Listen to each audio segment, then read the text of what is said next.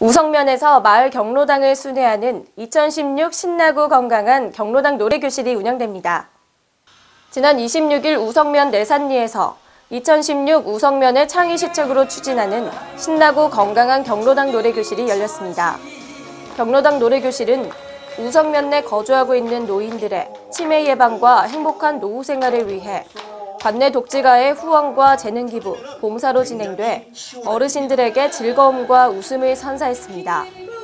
우성면은 오는 12월까지 경로당 31개소를 대상으로 마을을 순회하며 연 50회 이상 노래교실을 운영할 계획입니다.